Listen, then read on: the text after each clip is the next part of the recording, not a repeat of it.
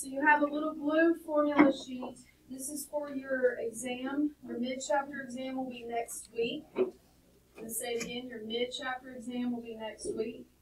Um, all we have to do is finish six, is to do six three, and then we're ready for the mid-chapter exam. Um, on the formula sheet is the special right triangle uh, ratios.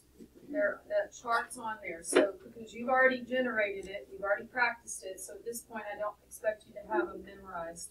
Um, I'm going to give it to you. And then there's a new part, which is what is coming up in six three. That's what the other the circle part is. Um, tomorrow, I'm going to let you have the day off um, because of the glitch with my math lab. Because Paige can't even get into my math lab yet. Um, so that means that six one, six two homeworks, we'll make them do, well, six one was supposed to be due, was it last night? Okay, so I'm gonna make six one due tonight.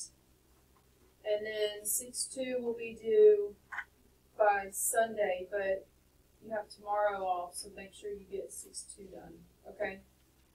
Um, I'll mark it down on my calendar as your absence to not count against you in your attendance. That's up to you to turn in a note of some type. you know, if you need it because of whatever's coming up at the end of the semester. Because, can I use you as an example? Luke can't even go on the movie field trip because his sixth block teacher last semester marked him absent wrong. Like he was here the rest of the day on the attendance and they won't fix it. So, even with me trying to say, hey, that's just a discrepancy, can you fix it? And they say no. Um, so if you're one of those that doesn't want that red unexcused absence, um, you're allowed up to so many parent notes. Or if you have some type of appointment to go to tomorrow, um, you could use that as your note. But any questions? Can we just turn it in a note without telling them it's for? We just put like, please excuse blah blah blah. Yeah. Yeah. Yeah, actually, you can. I did that with my son. Um, it was a personal. I just didn't want to send him on a field trip. I had a bad vibe. Like there was something weird. There was another issue going on with this kid in the room that wasn't keeping their hands to themselves. Second grade, and there was a field trip, and I was like, "You're not going. We'll just." We went to Atlanta. I took him to Legoland. Just me and him. It was great. I have the memory, and he has the memory, and the rest of the class went to the Chattanooga Zoo. We had way more fun. so, yeah, all I put on the note was please excuse him for being absent on this day, and that was it. So, all right. Um, let's finish six two, and then you have plenty of time to to work on your homework in class. Um, six two was recalling what you already did in geometry. We're just leveling it up to college level questions. We talked about starting with what you know. We talked about how the word problems, although they may seem really complicated and difficult, they are still just basic trig. And this is where we are. Hey, you better be careful, man.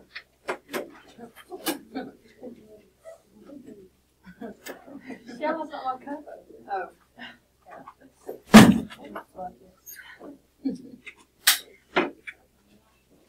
All right. Angle of elevation, angle of depression. Actually um, learned this in geometry. Uh, it's exactly what it sounds like. Elevation is when you're looking out. Ground level, you have to really think of the ground, although I know there's some gap between the ground and the height of this person. I want you to think of the ground. Um, hold on.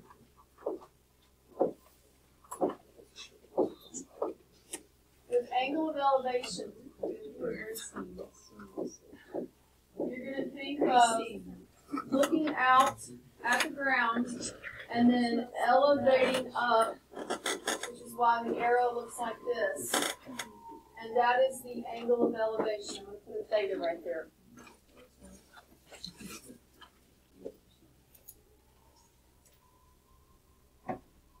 Angle of depression, slightly more challenging. Angle of elevation is very straightforward. Angle of depression um, tricks people because they they think it's this right here, and it's not.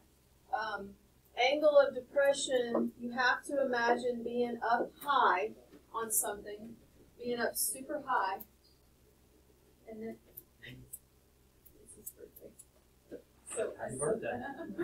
Having cake yet? Do what? No cake? I mean, I you know, I, No Right. cakes, nothing like that?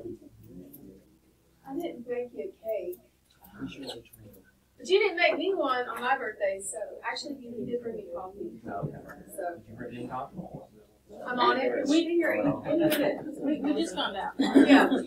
Leave it. Angle of depression. You need to imagine being up high already, like um, up on the top of a building, um, in an airplane, in a hot air balloon. I'm trying to think of all the examples they use. On the top of a cliff, um, a bridge up high. Anyways, um, angle or lighthouse. That's I've seen a lighthouse before. You're up at the top of some structure, and then so you have your line of sight while you're up top of something, and then angle of depression would be looking down at the ground. Um, the way to remember that the angle of depression is out here with your line of sight, and then looking down is to think this is a this is a an example. Y'all ever heard of seasonal allergy, seasonal depression, seasonal allergies, seasonal depression? You ever heard of that? Yeah. It's a perfect example today when it's um, winter and especially raining. Um, when the time changes, there's not as much sunlight. It is a scientific fact that there are more cases of seasonal depression because there's just not sun. You can't go out and enjoy the weather. Um, so think of someone that is enjoying their their um, their fall. That's their, my favorite season. They're enjoying the fall, and then the time changes, and then the next morning. Um, good luck, by the way. The next morning, the time changes, and then now it's dark at like five thirty. So they're gonna have they're gonna be depressed. So think of someone that's happy-go-lucky, and then time changes, and it's like okay, depressed. You'll see those emojis with depression. People they Um, I'm trying to think of a way to help you remember. It's like, oh, everything's great, and then the time changes, and now you're sad. It is not you're sad, and now you're looking at your shoes. Like that's not angle of depression. So be careful to not mistake it for this angle right there. Okay. Um. Now let's put the two together. Imagine if I merge these two pictures. So you got your line of sight up at the top. You've got the ground on the bottom, and then you've just got some line that is in between. Angle of elevation starts with the ground tilting up, right? And then angle of depression is line of sight tilting down. So that's right here. I don't want to draw anything yet because I want to see if you can answer me. What's the relationship between angle of elevation and angle of depression? see if you remember from They make geometry. ninety degrees, Do what? or they make hundred eighty degrees. Keep thinking. You're so close. What? Uh, Um, do y'all remember in geometry parallel lines cut by a transversal alternate interior angles? An angle of depression and an angle of elevation are alternate interior angles, which means they're congruent. Um, now, what you were saying with the 90, that actually is right here. This is, when you drop that straight down, that does add to 90. Um, you can go that route. So like if I gave you the angle of depression, subtract it from ninety and that would give you the angle in the top of a triangle. Or you could just say, okay, well then the angle of elevation is the same as the depression. So either way. Um, so we need to make some notes on here. I'm gonna draw a congruent mark, congruent mark, the angle of elevation is equal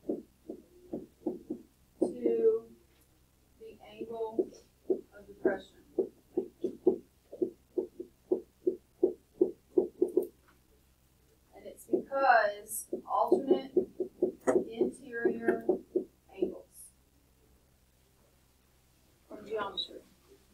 And that's a way to, when you have these word problems, um, if you can remember the alternate interior angle relationship, it makes it a lot easier.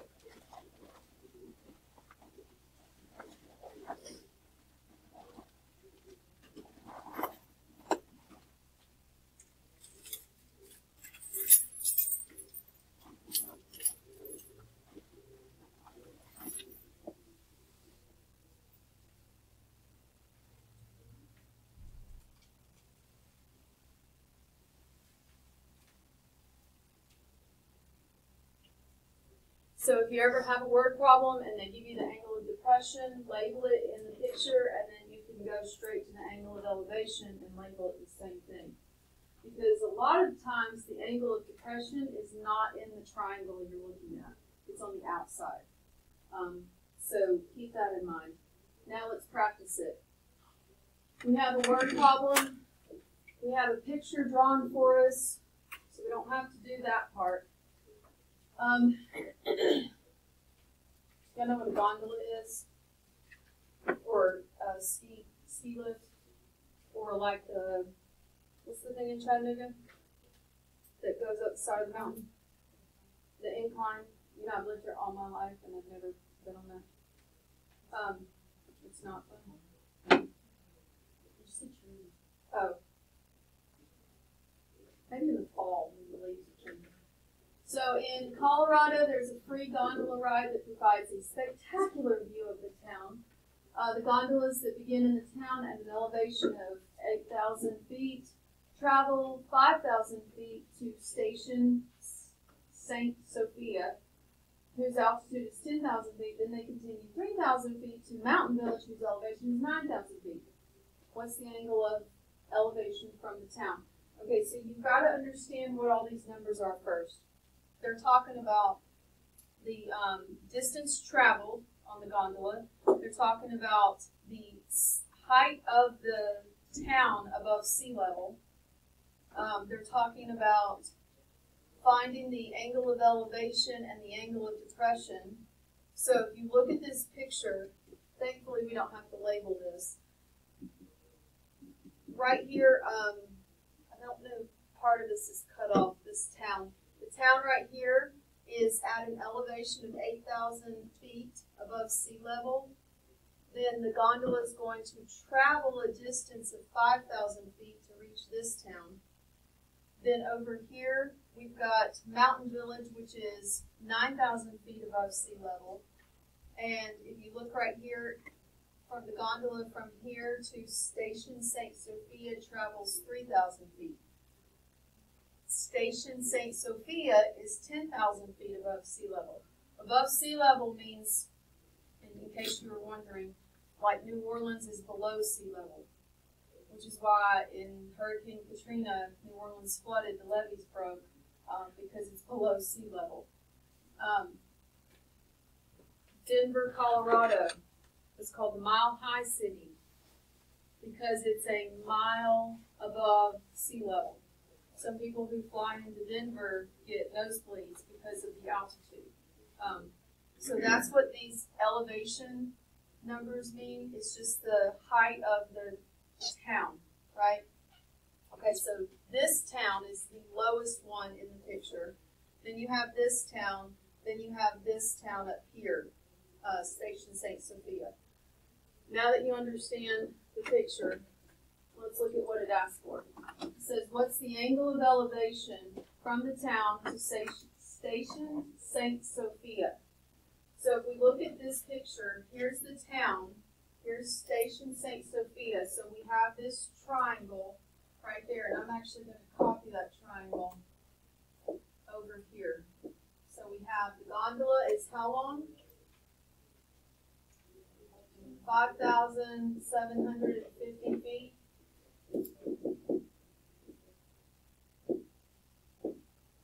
We're looking for the angle of elevation, which is with the ground.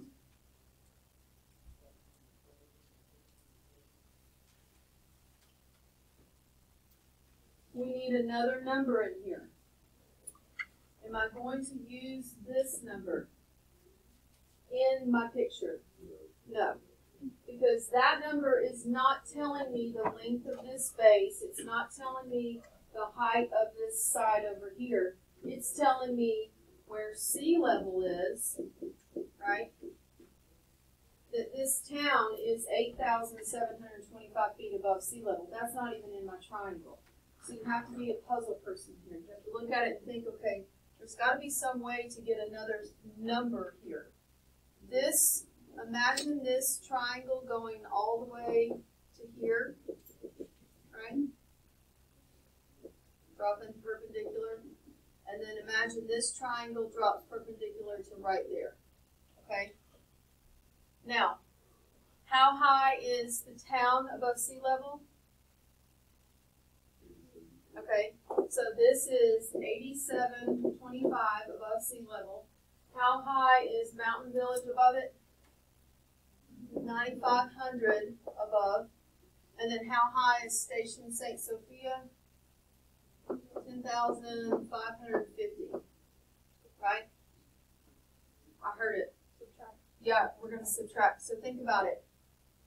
We have the numbers that we could actually find this altitude right here, this, this side of the triangle. This is at ten thousand five hundred and fifty to here, which falls at eight thousand seven hundred twenty-five. If we subtract that gap between the two towns' sea level height, then we would know this right here. So subtract that and tell me what you get.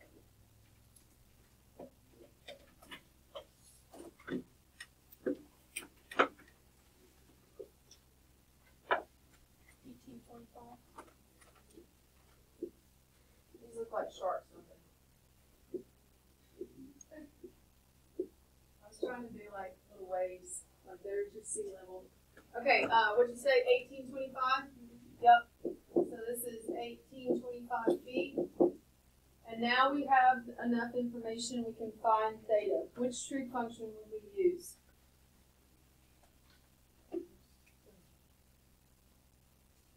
So from theta, position yourself and, and then check what side you have. You know the opposite and you know the hypotenuse, so that's sine. getting theta, which means we have to hit the second button.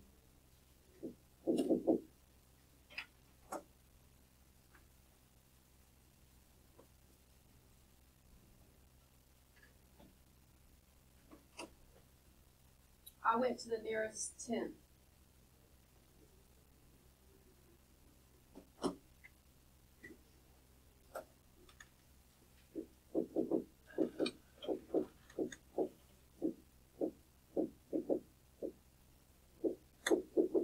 Get eighteen point five?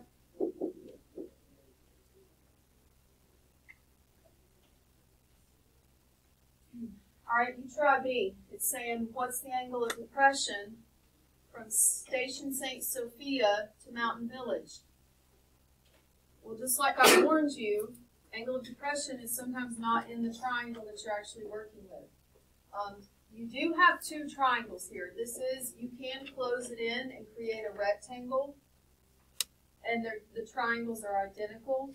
I've seen people do that. Um, I also have noticed that when I when I've shown that in class, I tend to lose some people. So if you don't see the rectangle with the split triangles, then just look at the picture. It's saying beta's right here, and then know what we just talked about, that angle of depression will equal the angle of elevation. So just come right over here, and there's beta. Are you in degrees? No, you're in radians. Reset to, yeah, there you go. And then just arrow up and pull that same, and it should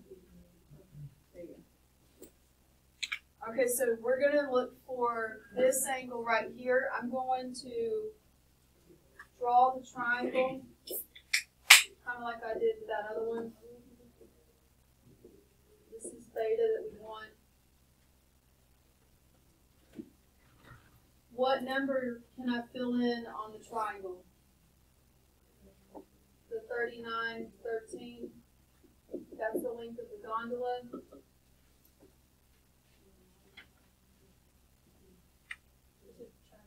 Yep, exactly. So this one is at ninety-five hundred feet above sea level and I would subtract it from the, the ten thousand five hundred fifty. And that would give you this, this height right here, which is, what is it? One thousand fifty. And then now you have the, um, information you set it up.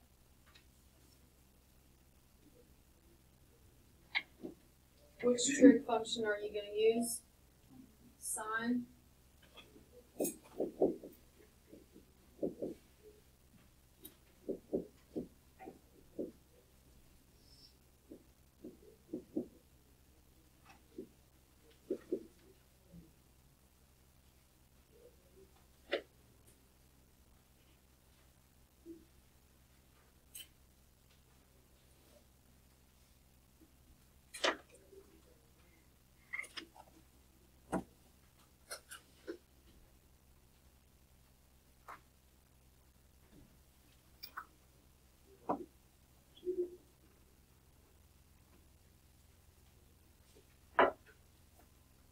What'd you get?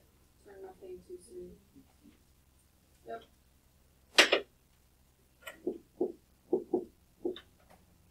So while all we did was find the angle using basic trig, the leveled up aspect is having this complex picture and having to know that you had to do a little subtraction here to get the number that you needed on your triangle. Alright, go to this one.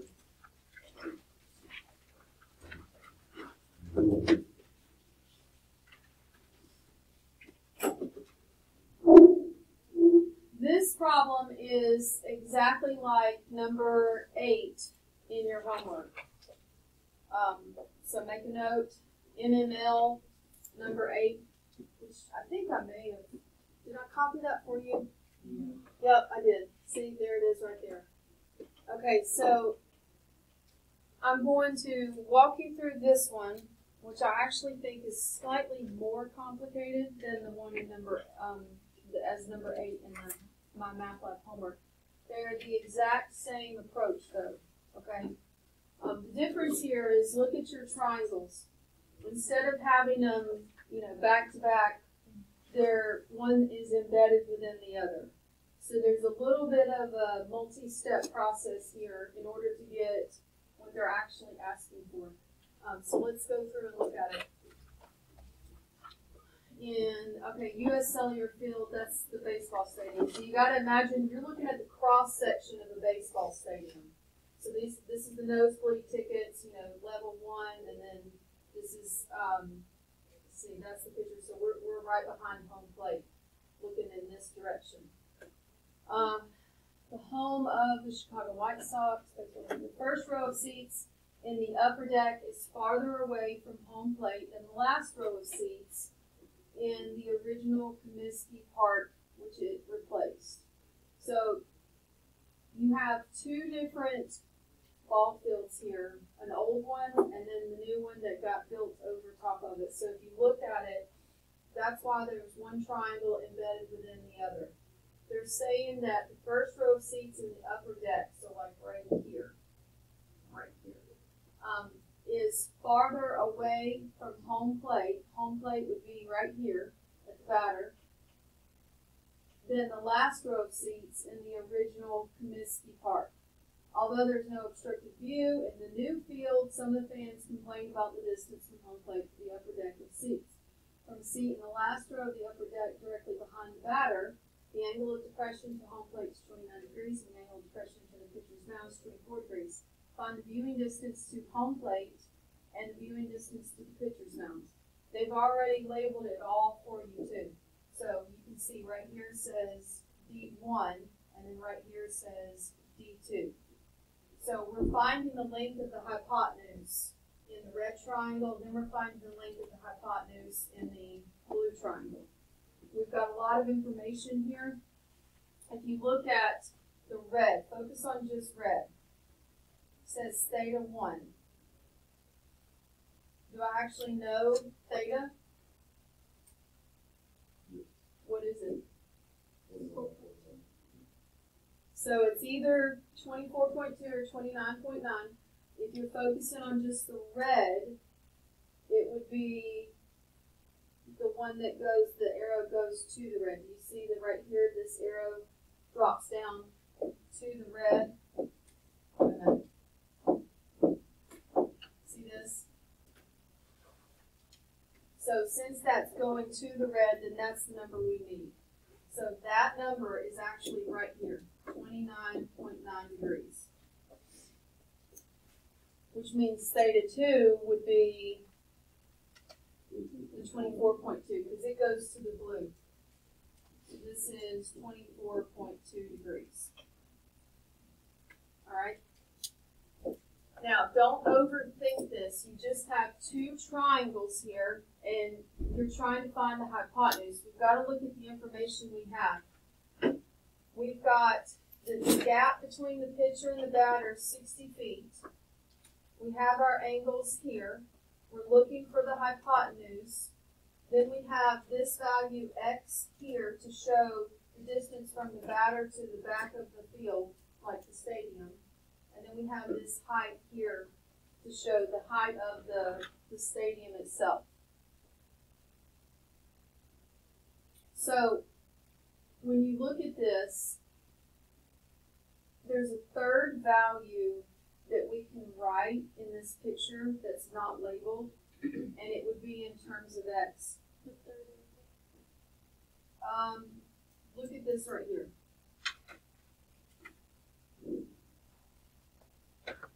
So from the picture, all the way to the back.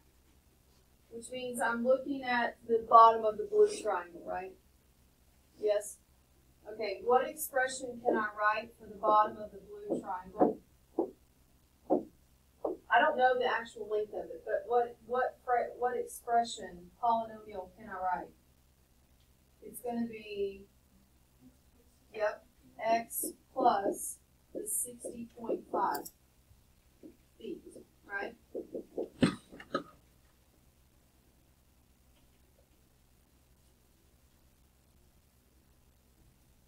That's the leveled up part. It's not just a plain old number, it's, it's a polynomial.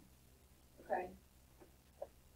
So if the goal is to find the hypotenuse, we need to know either the bottom of this, or we need to know this height over here, right? We need to get an expression for,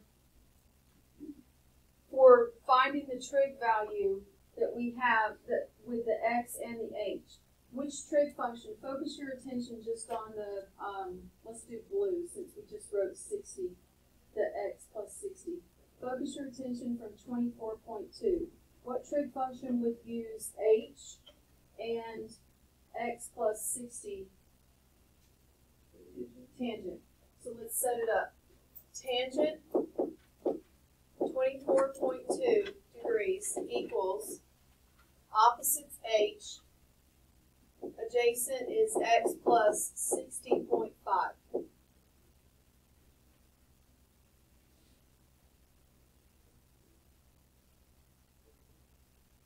Let's get h by itself. What would I do? Yep, elbow arm. I would multiply this crap over here to the front. Although it looks very ugly, you are just gonna, it's like a brick, one of those kids' toys, you're just gonna multiply it to the front.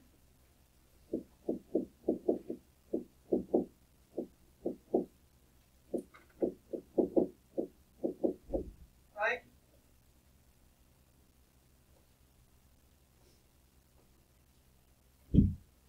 So that's my expression for h from the blue triangle. What do you know about h in the red triangle in terms of length? Look at the what? Look at the picture. H in both triangles is the same height, right?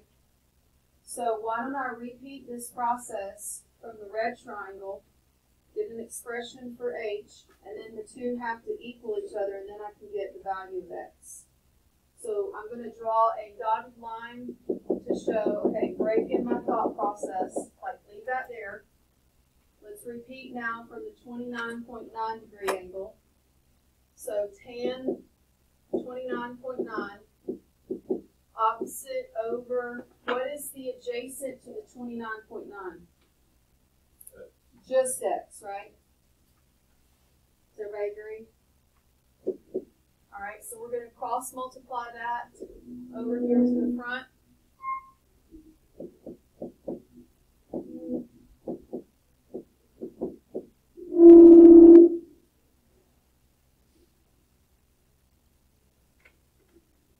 Now we have two expressions for h, which means they have to be equal.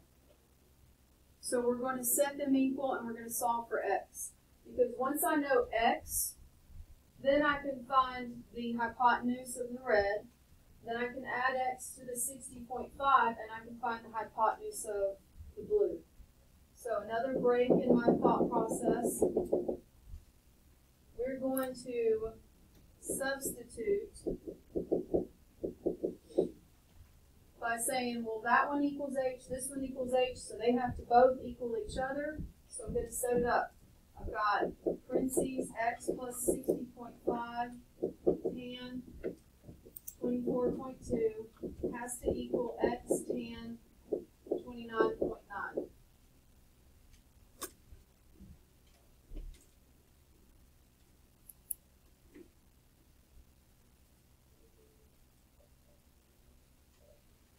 Now here's where you, you gotta know how to solve this. Don't overthink this, okay? Think of the, the tan degree as like a block, okay? Think of it as one giant variable, it's stuck together. So we've got x plus 60 times this equals x times this. We need to distribute this so we don't have these parentheses.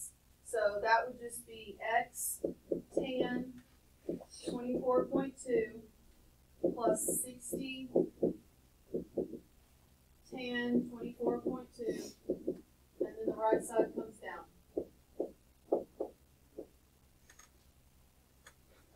So if you're wondering what I did there, because it's written funny with it being in the back of it, I distributed. And that just means you're just multiplying it together. It just goes to the front of it.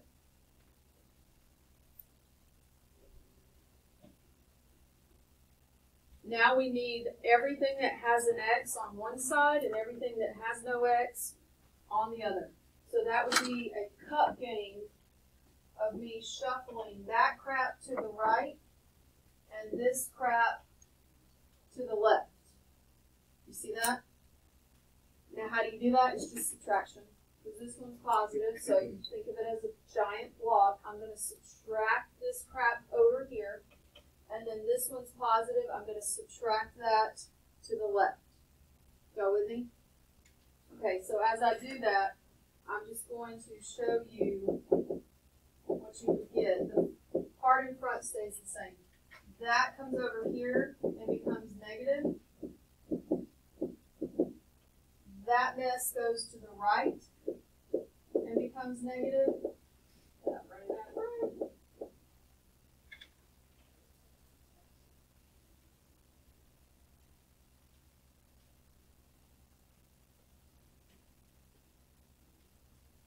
Now you probably see where this is going. What do you notice on the left?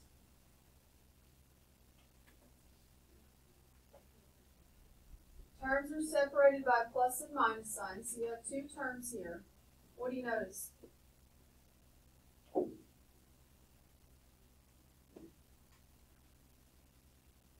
GCF? What do they have in common? They have an X in the front. Imagine if that were a giant 2 in the front. Sometimes it's easier with numbers. If they had a 2 in common, you could factor a 2 out, right? Well, it's they have X in common. I can factor an X to the front, right? Okay, so I'm going to take that X and I'm going to imagine dividing it to the front, which would leave me with tan, 24 minus tan, 29. This stuff over here is still here. It's just a long ride.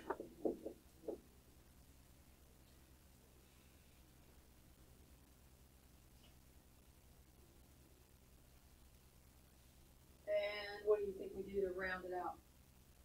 To finish. The goal's x by itself. Divide it. Think of it as a giant block. It's attached by multiplication. You're just going to move it by division underneath that mess. Right? I know. So you would end up, and I'm not, there's no way I can squeeze that right. Oh, wait, I can move this.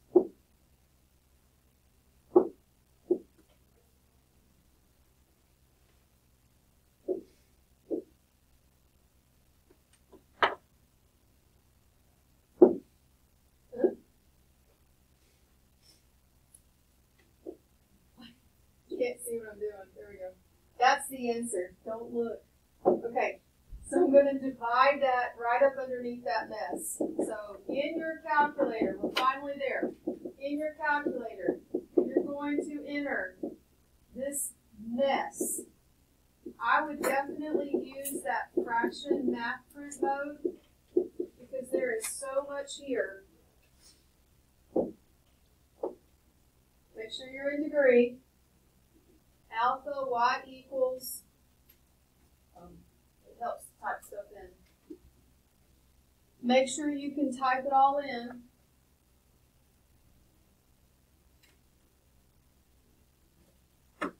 Put your parentheses at the end of your tan values.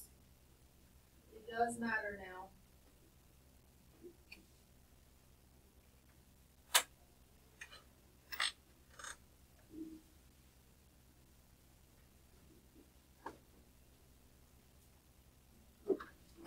Oh my gosh.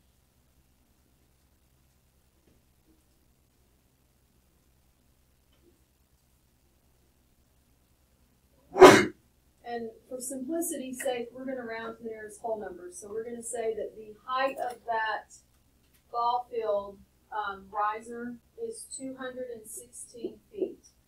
Or not the height, I'm sorry, the X value is two hundred and sixteen feet.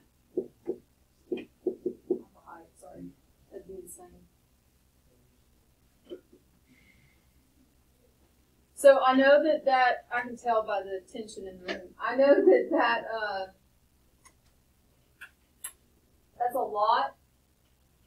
But what we actually did was not challenging. It's just that it was the, you had like tan of an ugly number, you had another tan of an ugly number, you had another tan. All it involved was setting up your two tan ratios, realizing they both had an H in them, so you could set those values equal. You had to distribute, you had to shift. Should notice the GCF, you pull it to the front, and then you get the rest of the crap to the other side. So while it's ugly, it's all very like foundational steps, right? Now that was just X. That's the beauty of it. We're not done. So X is what?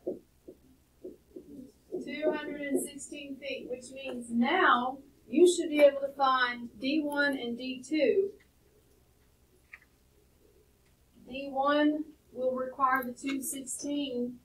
D2, you're going to have to add what?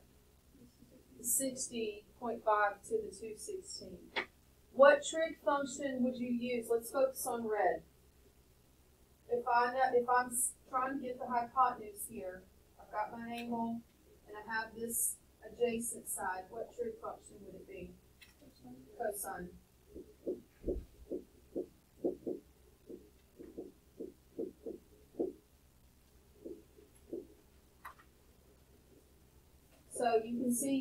cross multiply the d1 to the front, and then you'd have to divide the cosine 29 underneath, right? This would multiply over here, and that would move underneath. So you're going to type 216 divide cosine 29.9.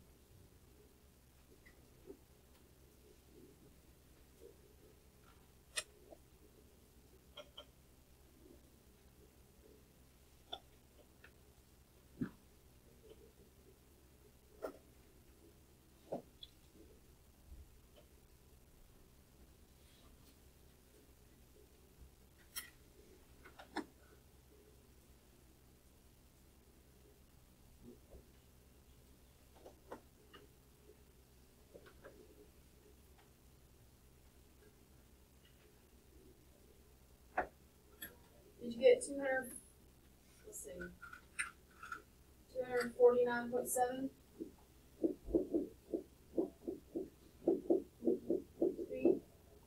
Right?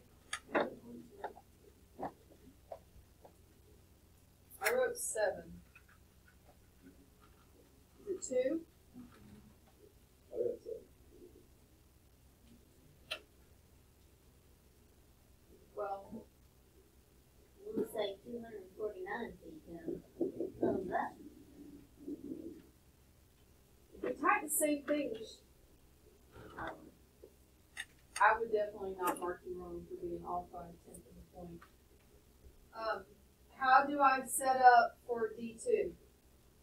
What numbers am I focusing on? You gotta mute out red now. Mute the red out. The twenty-four point two, the sixty point five, plus the two sixteen, and then D two. Is it still cosine? Yep. Yeah. Yeah, what is it? I definitely would not write in, in the ratio plus. Is it two seventy-seven? Oh, okay. Two seventy-six point five. Six point five is the adjacent over D two. You're gonna divide it.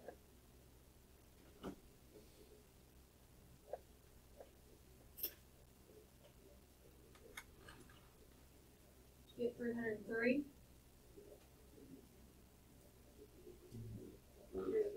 Yeah,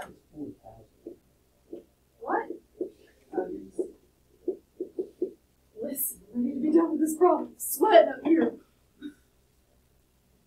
y'all can't stand to learn something that's like, when am I ever gonna use this or whatever, it's really it's really hard to teach something that you know kids are gonna hate. So just we're in this together. I personally like this problem just because nothing in here was difficult. It was just ugly numbers. Like that's and if someone if you show this to someone, they would look at you and be like, "You can do that? Like you understand that? Can you do my taxes?" You- Yeah, you did. Um, the homework is the same concept. You've got this picture here. Um, you can see where you drop that straight down. So there's your one triangle embedded within the other triangle. The 251 is from here to here. So what would this be? Let's call this x right here. And this would be x plus 251, right? Um, and then, of course, the top of the memorial, we'll call it H.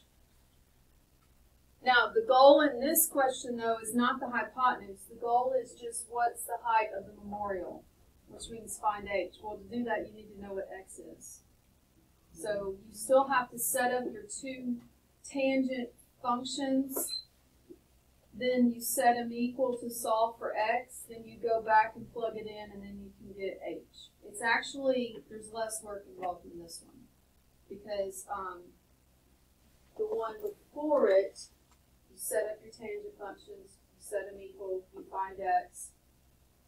Then you would just do one trig function in this homework, because you're just finding H. You're not finding two different hypotenuses. You're finding just the one side right there, okay?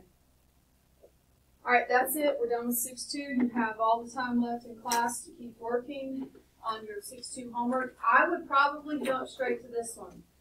Jump straight to this one in the MyMathLab. Um, and then that way it's done, this is the hardest one in the homework. And I will go in and check and see if any of them need to be removed.